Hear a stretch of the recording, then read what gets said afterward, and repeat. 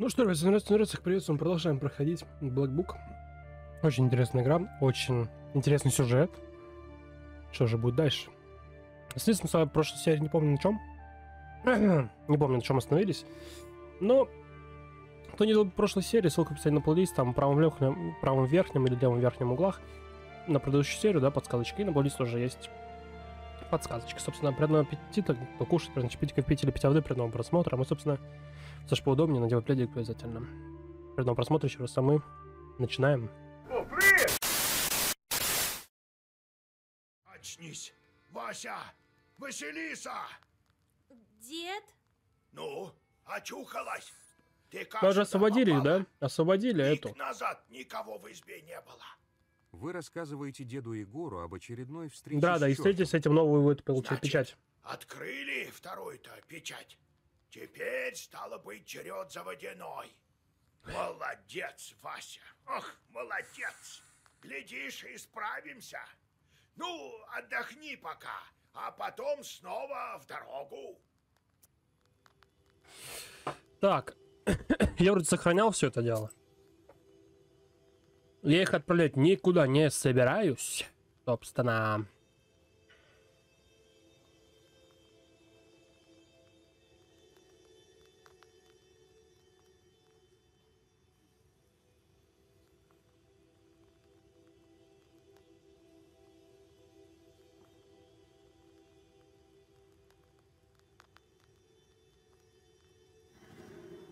Все, этих я больше никуда не отправляем. Черная книга, что у нас здесь? Вы открыли следующую печать черной книги. А, Новые слова можно найти, выбрав раздел «Открывшаяся печать». Изначально вам доступно только несколько слов, остальные необходимо добыть, сражаясь с нечистью или выполняя задание. О, ёбаный, блядь.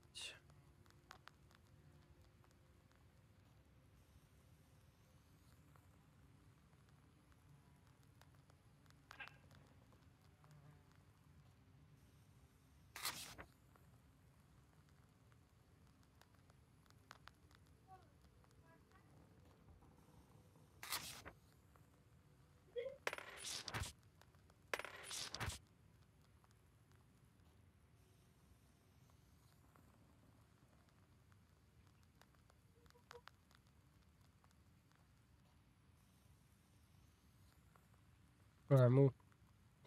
Так, ну давай, просителей. Здорово. Тут дед Егор живет. Все верно.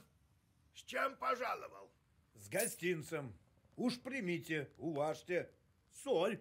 Я Сусь Боровского. Завод соливарный там держу. Пахом Николаевич, управляющий. Э, Дело-то серьезное. С глаз на глаз надо поговорить. Это Василиса. Теперь она у нас по знахарскому делу. Девка знаткая. Опасно это промысел. Нет безопасного дела. Все под Богом ходим. Это верно. Господь от нашей соливарни отвернулся. То в варнице что-то стучит, то тень какие-то у соляных ларей по ночам блазнят. Ну, это чё, эко невидаль. Такое по всей губернии случается. Так-то оно так. Да только сначала рассол не было, а на медне и люди исчезли. Несколько дней уж прошло, а полиции дела нет. Говорят, вернуться. Я свои наряды уж поставил. Да я и сам у амбаров какую-то тень видел. Как метнется в сторону. Сказали мне, что вы с окаянным помочь можете. Да я к вам и пришел. Расскажи, Пахом Николаевич, как люди исчезли? С неделю назад рассол как полился, как пошел. Ну мы и давай робить. День, ночь, все лари заполняли. На ночную смену оставил сначала Алексейку из Городищенского. Он сгинул, баяли, что в кабак сбежал. Врача Земского послушать, так он, мол, онкоголик. Потом Петр пропал, тоже в ночную. Не пытались выследить того, кто людей похищает? Да, отправил я на третий день пару мужиков покрепче. И сам с ними пошел. Тихо было вначале. Потом в глухую полночь явилась какая-то тень. Тришка окликнул ее. Она как давай метаться из стороны в сторону. До сих пор мороз по коже. Я перекрестился, Да тень потом кинулась то ли в амбар, то ли в варницу, то ли в ларь соляной. На утро я коней седлать. Так, ну давай. Говорил, соль стала пропадать. Полгода рассол плохо собирали. Беды одна с другой. Но ничего, держались. Сейчас рассол появился. Работники пропали.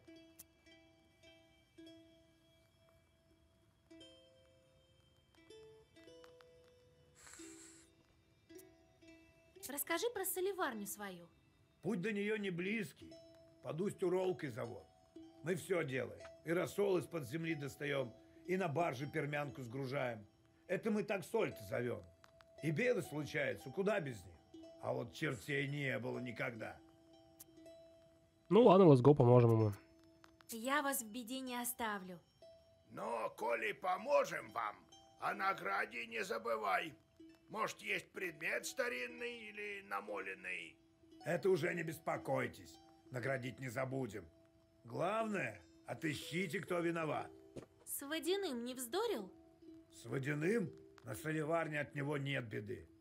Я человек богобоязненный. Водяному мы и шанги, и водку оставляем. Хорошо, посмотрю я на вашу соливарню. Я повозку снарядил. До земской станции тебя доставят. Там смотритель дорогу подскажет. Езжай, как готов будешь. А я вперед отправлюсь. Ну, до встречи. Сам Бог его послал, Вася. Как раз печати откроешь там. Эх, мази бы сейчас купальской, вмиг бы долетела. Ну, ничего, придет купала, трав насобираю нужных. Ну, за дело. Let's путь.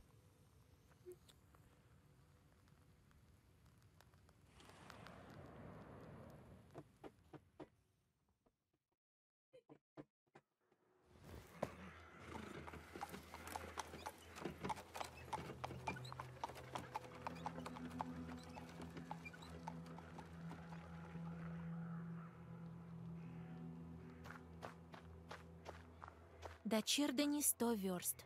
До Соликамска 22 версты. До Усть-Уролки 10 верст. Мгм. Подожди, блядь. Опа, вот. Да, блядь. Над телеграфным столбом вьется беспокойная стая сорок. В лунном свете то и дело мелькают белые воротнички этих птиц.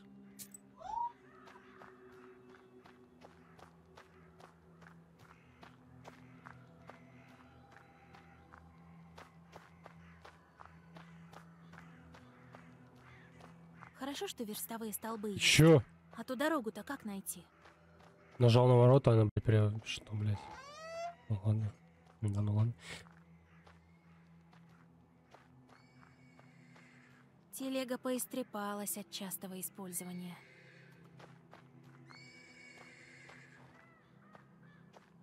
Федька, постреляй сорок с улицы.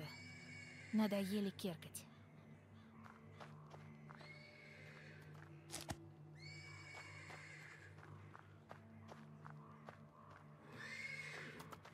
Из конюшни доносится обеспокоенное ржание станционной лошади. Подойдя ближе, вы видите черную тень, снующую вокруг животного. Вы приглядываетесь и вспоминаете уроки деда Егора. Это точно суседка. Вот векшица пришла. Чё тут, шабуш у вас, колдунов, или чё ли? Ты по что скотину мучаешь? Суседка должен беречь лошадь, а не мучить ее. Видишь меня? Ну и что с того? Скотина это, неверного цвета, не хозяйского. Цвет не тот, а тебе какого нужна? Ох, мне хоть маленькую, да щупленькую, но как у хозяина борода. Эту загоню, новую купит.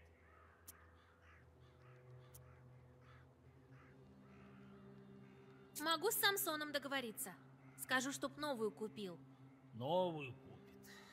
Ну, говори, Векша, посмотрим, посмотрим. Вы оставляете домового и возвращаетесь во двор.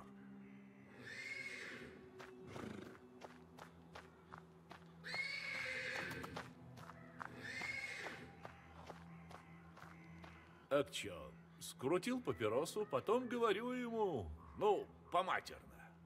Так он заграил и исчез. В этом году было в охотничье время -с. Тоже про дочь твою спрашивал? Да тьфу на вас, ваше благородие. Вот любой знаткой проезжий подшутит. Бог в помощь! Помогай, Господь. Дворянин бросает на вас взгляд, краснеет и сдержанно кивает. Нет лошадей на станции. Так что свежих почтовых ждать надо. Утром прибудут. И слушать небылицы Самсона? Меня Александр зовут. Мой собеседник — это никто иной, как станционный смотритель. Меня Василисой зовут. Я в Усть-Боровской завод иду. В такой час без повозки далеко не уйдем. Пока ждем, можем партейку в картишке раскунуть. Ты-то тут откуда? Из Вильгарта. По делу пригласили. Лошадей вот до этой станции только снарядили. Наверное, местные боятся в сторону завода ехать. Ну так а как? Окаянный на заводе блазнит, и телеграф теперь оборвался. Бардак. Так пойдет. Вообще без царя жить будем.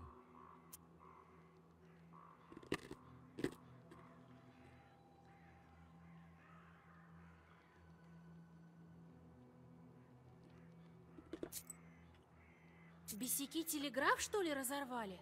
Ну так, а кто? Тебя послушать, окажется, что бесы во всех бедах виноваты. Зима, например, тоже бесовская. Ну так, а как? Про Шуликинов слыхались?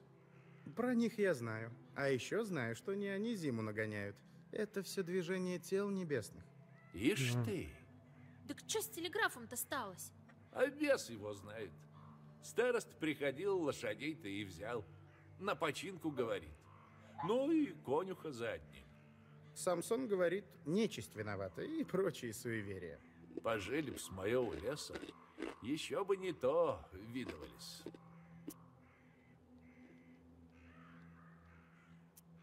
Что про завод-то слышали? Сначала добрый завод был, а потом как черт поехал. Народ стал пропадать. Там постоянно какая-то бесота творится. И до недавних пропаж? Тоже слышал от крестьян, говорят, дурное место. Все так. Так что, на мельницах постоянно блазнит, а завод чем хуже?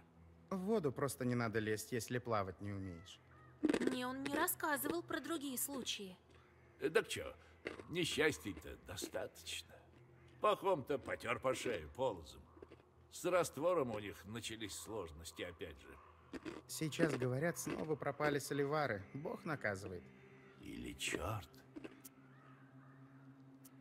А ты, Александр, куда путь держишь? Я в деревню Логово иду. По профессии я врач, учился в Петербурге. Земской доктор не справляется, сложный случай. Мы в переписке с ним. Я тоже кое-что в врачевании народном разумею. Что там стряслось?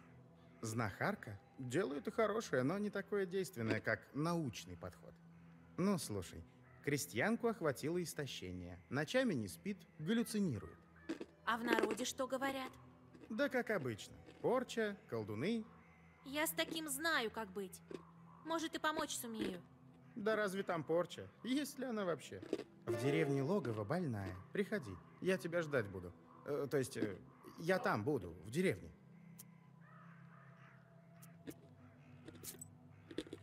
Я сходила в конюшню. И правда, суседка лошади покоя не дает. Ага, я говорил. Слышишь, ваше благородие? Суседка? Неужели? Говорит суседка ваш, что цвет не тот. Так вот и знал, что что-то не то. Эго не понравил. А что, так какую масть надо? Суседка просит купить скотину другого цвета. Но какая ему хочет он гнедую скотину? Коричневую. Вот чё. Ну, будь по-вашему. А, Василиса, ну как? Успокоила лошадь?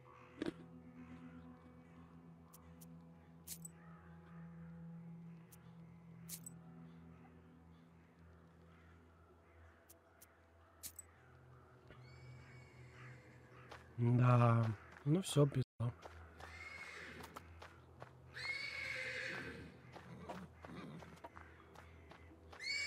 Ты что делаешь, алё? Тут же и по хозяйству вещи есть. А что это за хуйня? Да. Что это за хуйня только что была? Из конюшни доносится обеспокоенное ржание станционной лошади. А, опять ты. Ну, одни беды от вас, векши. Скоро новую лошадку Самсон купит. Купит. Да не той масти. Уж я тебя за это задавлю, векша поганая.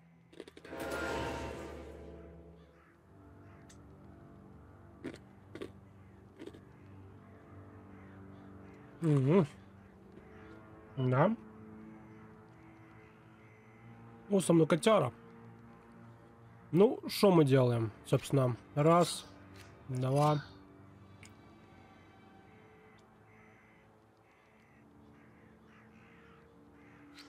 Три.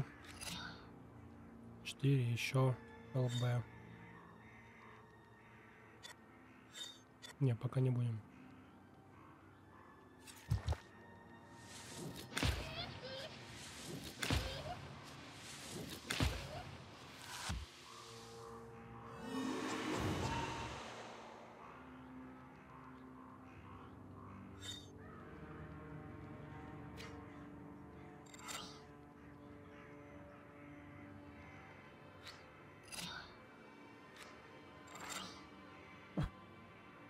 Хорошо.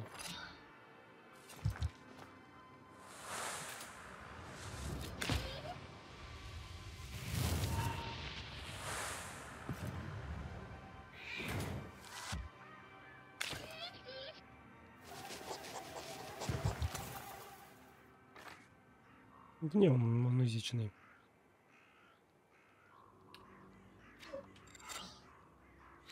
Четыре.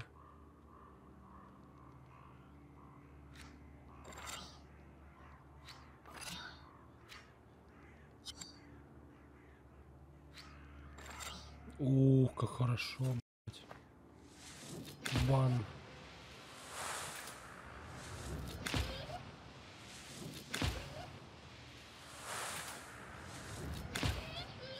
Одна хпшка осталась. Ну все.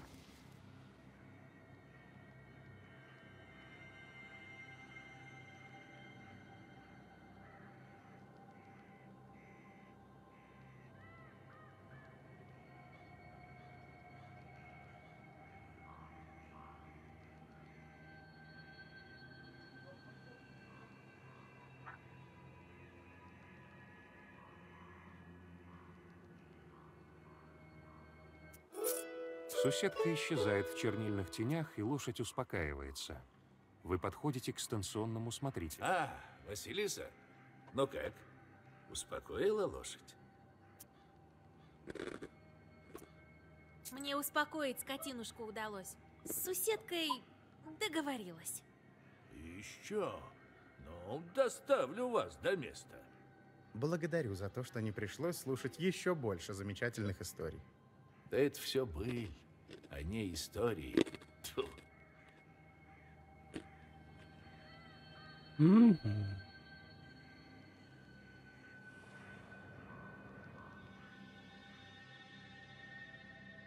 Смотритель указывает на Усть-Уролку, и повозка отправляется с Александром в деревню Логово. Ваше размышление о дальнейшем пути прерывает тень, возникшая на дороге. Вы быстро очерчиваете круг. Тень приближается, вы держите наготове черную книгу. Вскоре перед вами предстает крестьянин с увесистой дубиной. Кто там идет? Я из Вильгарта. На соливарню иду. Ну-ка, крест на себя положи. Вы осеняете себя крестным знамением. Ух, я вот думал, нечистого повстречал. Черт-то не богособился бы. Меня с села Усть-Боровского отправили на стражу ночную. На заводе черти народ тревожат. Ты что, туда? Да вот я знатливая из Чердани. Помочь хочу. Ч черта знай-ка. Пойду-ка я. Что слышал про людей исчезнувших? Как ворона унесла. Пропали. Думали, по кабакам пошли, а нет. Кто в ночную смену был, те исчезли. Слышал, туман в те ночи был страшенный, как река из берегов вышла.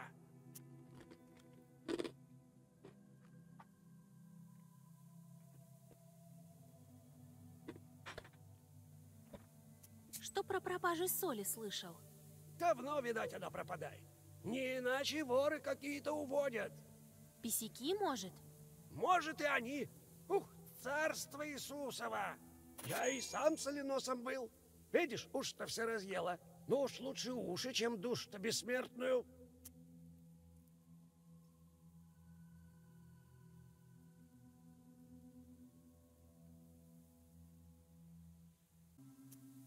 Ну, помогай тебе Бог. Let's go сначала.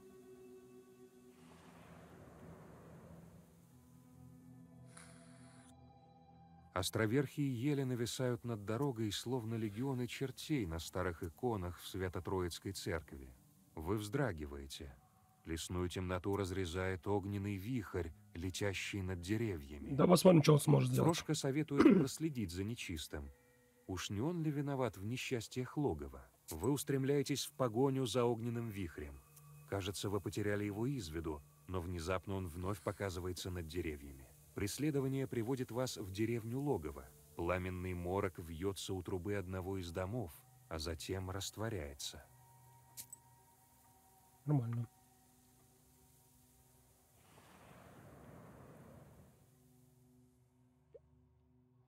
Вы стучите в избу, рядом с которой растворился огненный морок.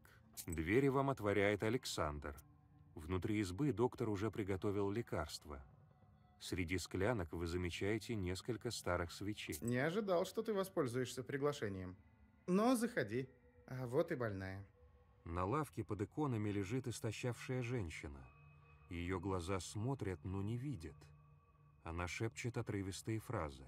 Он придет, вернется, вернется. О ком ты? Кого ждешь? Ваня, он вернулся, я знаю. Кажется, мне женщина бредит после бессонных ночей. Этот Ваня. Его считают погибшим? Он жив, жив. Я видела его. Все с ним хорошо, да только спины на нем нету. Ее муж погиб на войне. Весть, говорят, не так давно пришла. Я видела нечистого. Это тебе после рассказов Самсона примерещилось? Нет. Думаю, здесь замешана нечистая сила. Да уж, конечно. Не веришь? Я точно знаю. Виноват окаянный. Девушке является окаянной в облике усопшего мужа. Это лишает ее сил и грозит скорой смертью. Какая нечисть виновата в болезни? Змей. Некоторые черт принимает облик ого, часто супруга является скорбящим. Такой черт э, летает в воздухе огненным снопом, метелкой, веретеном. Только на земле он принимает облик... по- Мгм. Обознать демона можно по отсутствию позвонка. Ага. Похоже, черт виноват. Змей огненный. Все сходится. Покойник, знамение, спины на нем нет. Поди он и сейчас рядом. Близко? Да, он здесь. Скоро придет мой Ванюша. Давно она заболела? Про нее мне впервые написал земской доктор уж как несколько месяцев. Давненько. Ее словами теперь не вылечишь. Есть такой вид чертей.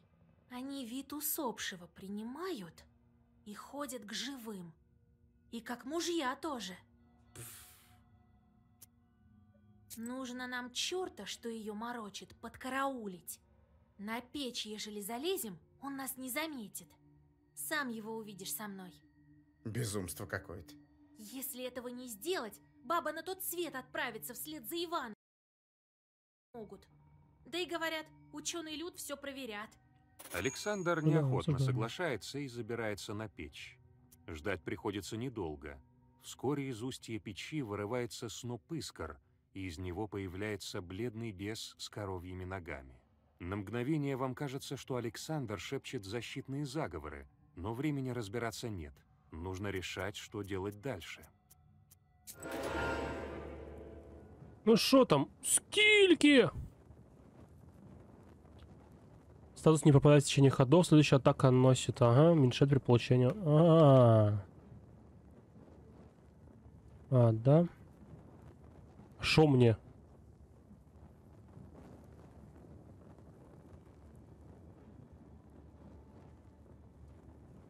Ну, let's go, чё, вот так вот. Так вот, вот так вот. Вот так вот. Let's go. Что за?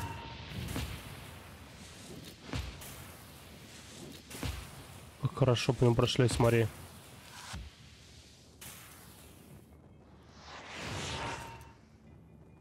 Подавлен. М-м. Десяточку наносит.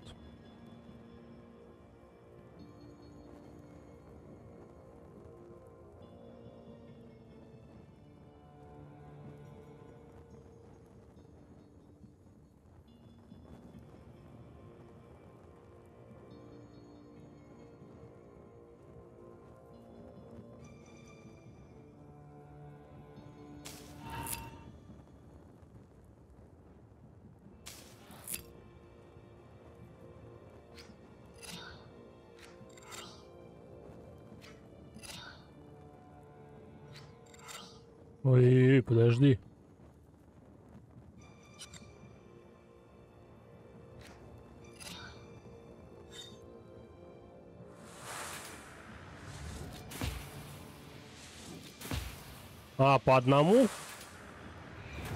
Понятно.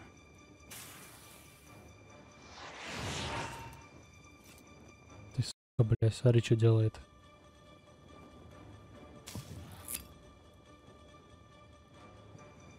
33, прикинь. Что мальчик 33 будет херачить.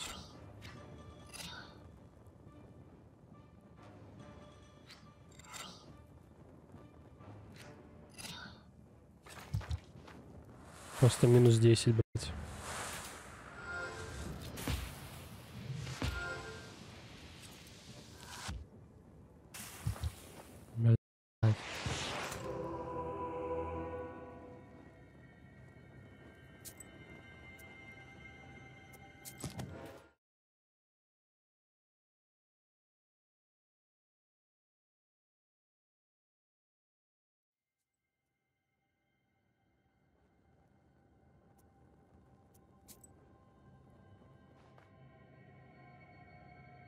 Вы стучите в избу рядом с... Двери вам отворяет... Аль- Не ожидал, но заходи. На лавке... Он... О ком? Ваня, Кажется, Этот вот. он жив. ее мур... Я видел... Это тебе... Нет. Да уж. Не верю. Девушке является Акай. Похоже, ч... сёс. Близко. Да. Давно она заболела? Про нее мне... Давненько. Ее словами теперь не вылечишь. Есть так они ви- и ходят.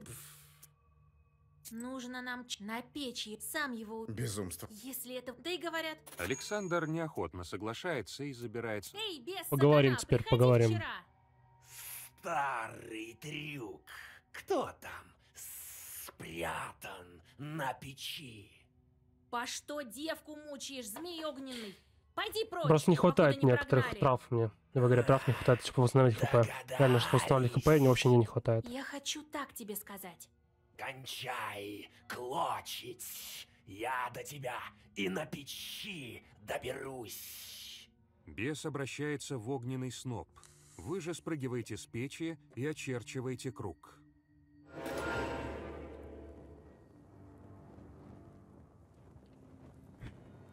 Пропустим, вот это пропустим, потому что реально, ну, ребят, мне не хватает просто именно в плане трав. Тут трав ей не хватает, чтобы восстанавливать хп. Он жесткий. Черт вспыхивает ослепительным пламенем и скрывается в печи.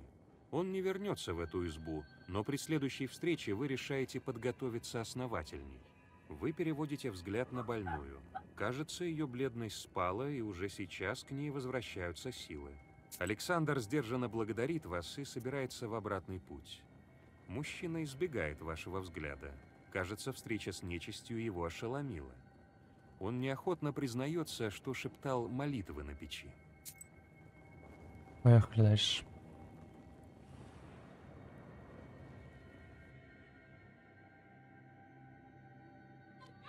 Из темноты доносятся тихие всплески речки Черной. Вы слышите несколько... Услышав ваш голос и святые слова, нечисть исчезает. На камне у реки вы обнаруживаете мокрый гребень. Вы оставляете реку позади и возвращаетесь на дорогу в Усть-Боровское.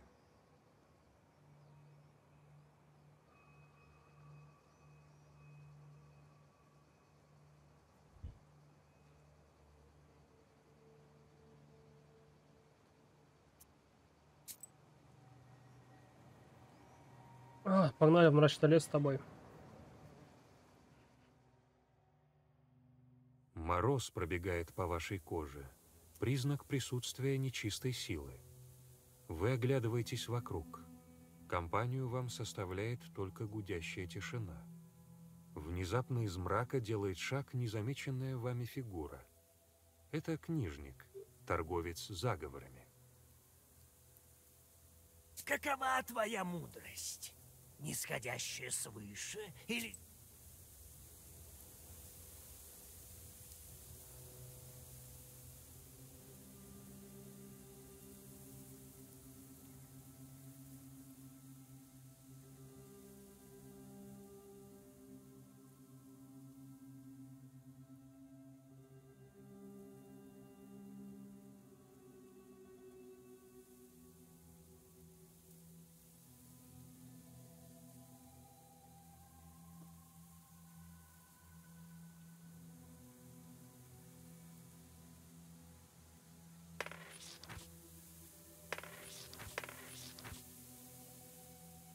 Какова твоя мудрость, нисходящая?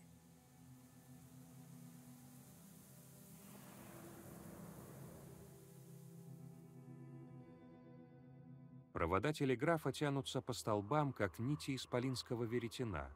Деревянные сооружения выглядят инородно, и кажется, что хмурые сосны смотрят на них сукоризной.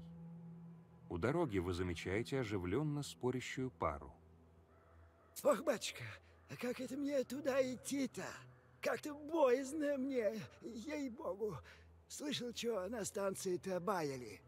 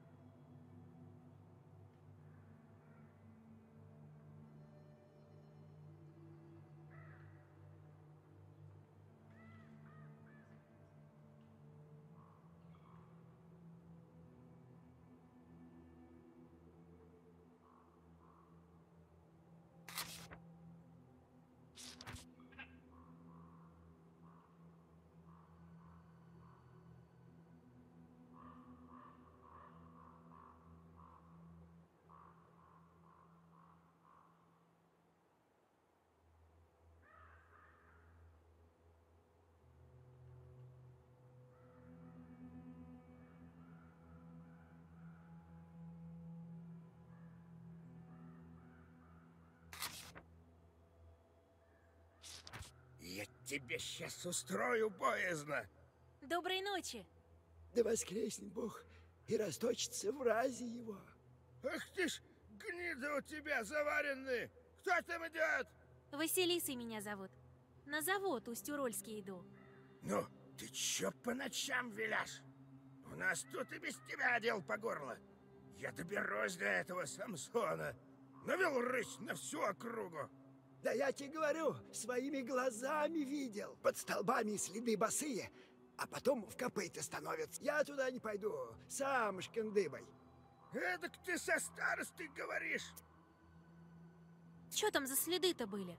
Может, скотина какая ходила? Скотина босой не ходит. Как начальство сказала про телеграф Янтот, я пошел. А там вон оно чё. Я и мызнул оттуда. Завтра тогда сходите. Днем вот не так блазнить будет. Да не могу. С меня главарь шкур сымет. Приказано сегодня же выяснить, в чем проблема и починить. Ну, удачи вам в починке. Хорошего настроения. Завод вот там вот, не пропустишь.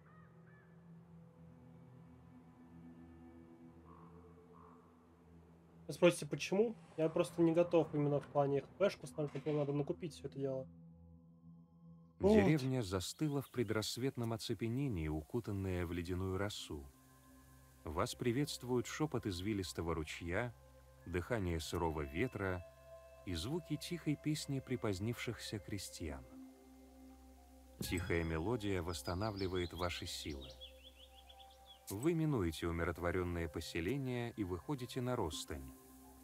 Кажется, на этом перекрестке затаились бесы. Чего?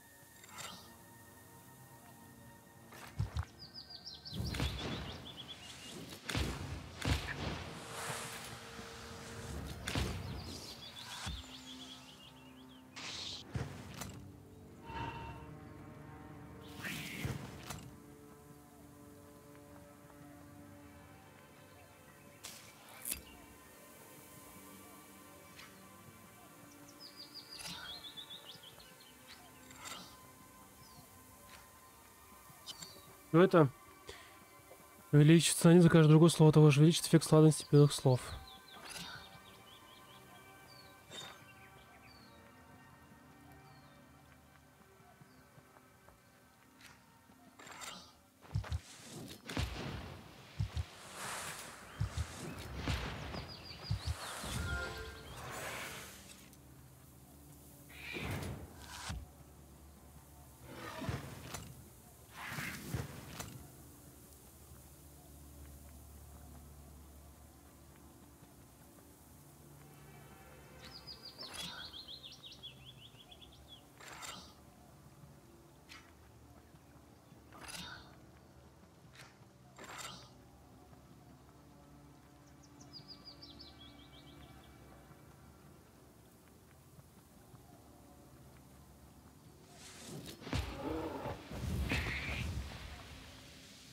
Да так вот. Так, это закажет использование предмета нанести по всем против-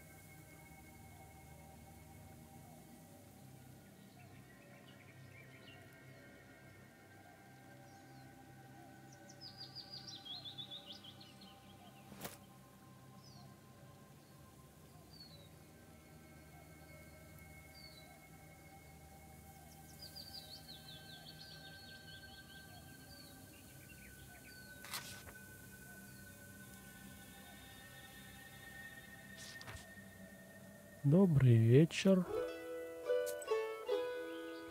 Ну и погнали. Let's go туда. Сгоняем с тобой. Вы добираетесь до заводской конторы. Вас уже ожидают, и вскоре вы вновь встречаете управляющего. А, Василиса, на месте. Вот и славно. Да уж, бог помог, что на месте. Мог бы лошадей до завода снарядить. Да что там идти-то? А ты что, не знаешь, что делается? В одной деревне я огненного змея одолела. В другой деревне Ну как? не что творится. Ну как, ну... Провода нечисть режет. Скверно все это. Знал бы, так больше извозчику на водку б дал. Они тоже затемно боятся. Но бог с ними. Главное-то тут, на заводе, разберись, что делается. Лишь бы соль варилась. Слышала я, что и до пропаж что-то странное случалось. Мало ли, что ты слышала. Что сталось тогда? Можешь рассказать? Что был, то прошло. Ничего такого, не блазнил никто. Рассол ушел, вот и говорят всякое. Давно это было. С пропажами заводчан не связано. Да и рассол вон появился. Понятно. Что-то городит, короче, что-то городит. Что-то произошло, пока тебя не было? Нет, все в порядке, слава богу. Как-то не по себе мне на заводе. Точно нечисть тут какая-то. Ладно, пора за дело. Найду я беса заводского. Ну, спасибо тебе, Василис. Комнату мы тебе изладили. Отдохни с дороги. Ну и за работу. Вон, проводят тебя.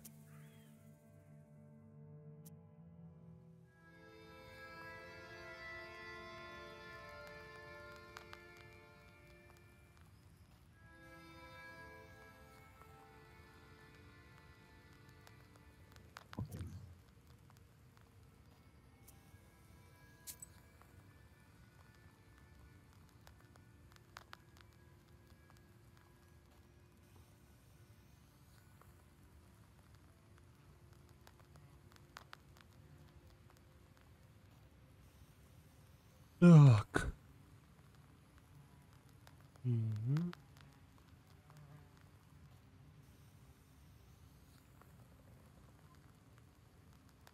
Это на паузу, да, кому интересно почитать? На паузу нажмите, почитайте, пожалуйста. Так.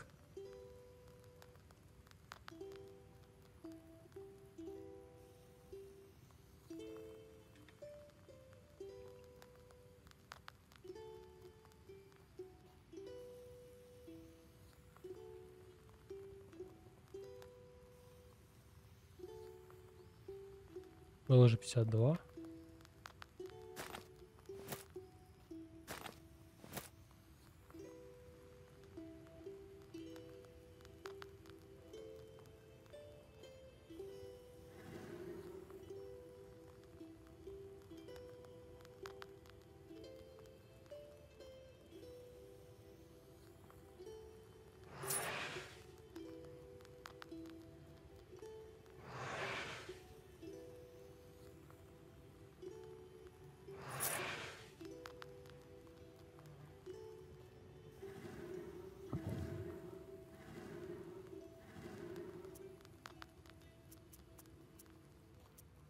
Послушай, Прошка, ты видишь нечистого на заводе своим бесовским взором? Да нечисти везде полно. И на заводе повстречаем. Но это же не значит, что мы во всех бедах виноваты. Ну, часто как раз-таки вы. Это все ваши росказни друг другу. Вон, погляди на меня. Добрый, пушистый. Ага, а кроме тебя-то я еще не знамо сколько чертей встречала. Так чё-то мало пушистых. Ты их просто плохо узнала. Ну-ну.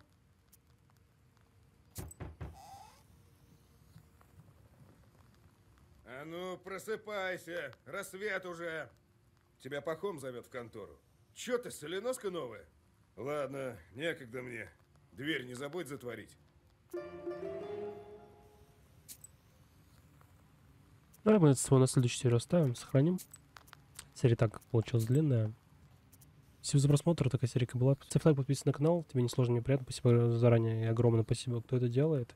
Жени канал, как минимум поддержка мне. Реально спасибо огромное. В принципе, все. Спасибо еще раз за просмотр. Увидимся в следующих сериях. Давайте, давайте.